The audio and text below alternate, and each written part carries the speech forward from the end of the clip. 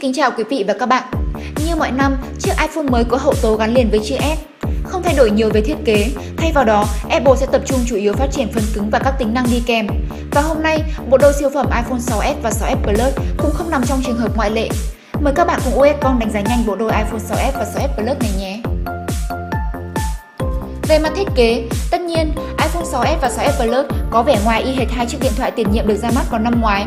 Ngoại trừ một số thay đổi nhỏ về kích thước, điểm khác biệt dễ thấy nhất trên iPhone năm nay có thêm màu vàng hồng. Theo Apple thì hai chiếc điện thoại này sử dụng loại nhôm và kính bảo vệ mới đem lại độ bền cao hơn. Tuy nhiên, khó có thể nhận thấy điều này khi chỉ cầm máy trên tay. Điểm mới lạ nhất trên hai chiếc điện thoại chính là tính năng 3D Talk.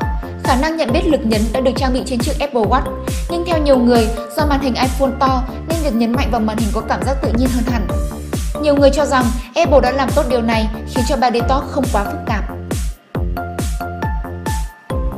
iPhone 6s với một hệ thống cảm biến bằng lực chạm và nhấn, bạn có thể sẽ phải rất khó khăn để tìm hiểu được hết cú chạm và nhấn của mình sẽ đưa đến hành động gì của máy.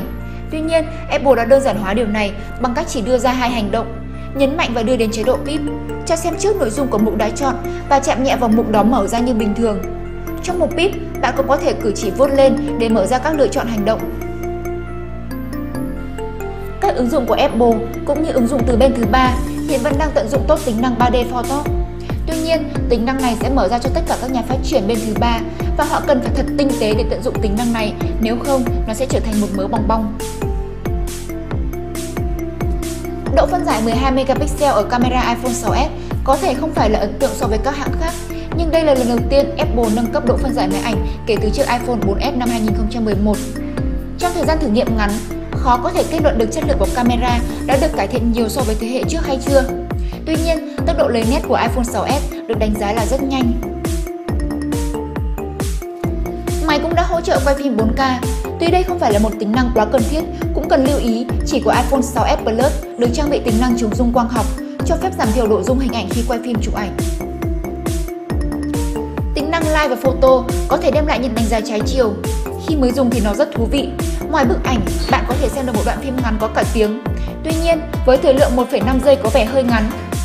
Nhưng với khả năng tải trực tiếp lên Facebook và chia sẻ các thiết bị của Apple, có thể like và Photo sẽ thu hút được nhiều người dùng hơn. Qua những đánh giá sơ bộ của các trang công nghệ quốc tế, có thể thấy những cải tiến về mặt tính năng của iPhone 6s và 6s Plus năm nay được đánh giá là khá tốt. Hiệu năng camera của máy đều được cải thiện và sự bổ sung 3D Top có thể đem lại nhiều tính năng thú vị cho phần mềm. Tất nhiên, chúng ta sẽ phải chờ những bài đánh giá chi tiết hơn để có thể kết luận rằng iPhone 6s và 6s Plus đã trở thành chiếc điện thoại tân tiến nhất hiện nay hay chưa.